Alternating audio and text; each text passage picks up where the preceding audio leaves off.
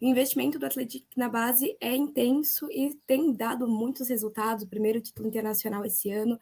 Então, eu gostaria de saber quais são os planos para a base nos próximos anos, principalmente agora em 2023.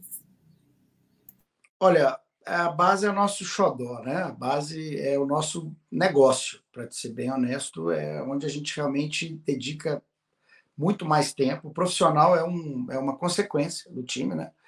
Mas a base é incrível. A gente conseguiu colocar, é, despontar muitos atletas de 15 a 17 anos, né? Como você disse, a gente foi campeão é, de uma Copa Internacional na Argentina, que para a gente é, é, é, um motivo de muito orgulho, né? Parou a cidade, quer dizer, é muito legal isso. E a gente foi campeão no meio do interior, que é um feito é, com tantos clubes, né? Muito difícil conseguir. Foi por muito pouco, no 15 17, foi para os pênaltis com o Atlético, quase chegamos na final. É, o trabalho só aumenta, aumenta a responsabilidade, aumenta o trabalho, aumenta a organização. A gente está, esse ano que vem, iniciando a construção do CT, né, no, em São João del Rei, com quatro campos, uma estrutura bem legal, né, que é o projeto Esquadrão do Futuro, que a gente vai fazer em São João del Rei, um projeto muito legal, em breve a gente vai estar divulgando, e com a ideia de aumentar e melhorar essa performance ainda mais, é, melhorando a estrutura. Falando sobre a infraestrutura agora, que também é um pilar da SAF, né? Sobre as melhorias no estádio, que era uma prioridade para vocês. Gostaria de saber como que está o andamento disso no estádio, quais, quais são os planos, o que, que ainda está por vir, quais são os incrementos que ainda podem surgir, principalmente ao longo de 2023. Ó, a gente está em plena reforma do estádio, né? adaptando o estádio para VAR, né? É, para iluminação também, né? para os próximos jogos, porque foi um problema na, no nosso no campeonato mineiro, né? porque não tinha iluminação chegou na semifinal, tivemos que jogar é, em BH contra o Cruzeiro, né? É, então a gente, se a gente chegar de novo numa semifinal, tomara a Deus, a gente quer jogar os jogos é, lá no, no e, a, e, a, final, enfim, a gente quer jogar no nosso estádio, né? Que é um caldeirãozinho, é, a gente quer jogar lá.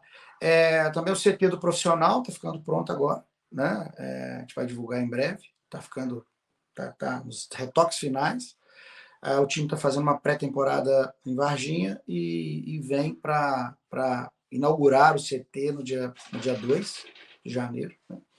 Então, é, a expectativa de obra é essa. E o CT a gente deve começar no meio do ano que vem, as obras, é, com ideia de inauguração em um ano e meio, dois anos, a inauguração do, do, do centro de treinamento do esquadrão. A SAF do Atlético, ela vem demonstrando muitos bons resultados, e isso chama atenção tanto no Brasil quanto no exterior. Tanto é que a gente teve a visita do diretor Atalanta em novembro, e eu gostaria de saber se existe alguma pretensão para um acordo internacional, se já foi sondada. Já, já foi sondada, tem algumas conversas sim com é, é, alguns clubes europeus e americanos para um acordo de que é exatamente esse acordo de cooperação entre clubes, né, para atletas de base. Isso faz é, muito sentido porque nós temos uma base robusta, né, tanto todas as modalidades da base rodando, e a gente é, é, forma muito atleta e você é, criando essas conexões você coloca atletas espalhados pelo mundo, né, que é onde realmente é o negócio, né, do, futebol. Além de você também criar visibilidade para a marca. Realmente hoje tem sim, a gente tem sido feito várias reuniões, discutido os modelos, para criar um modelo inovador, para que a gente consiga ter é, uma. Tem vários clubes hoje com essas parcerias aqui já, né? De clubes de fora, Benfica, Lyon da França, já são parceiros de clubes aqui e tal.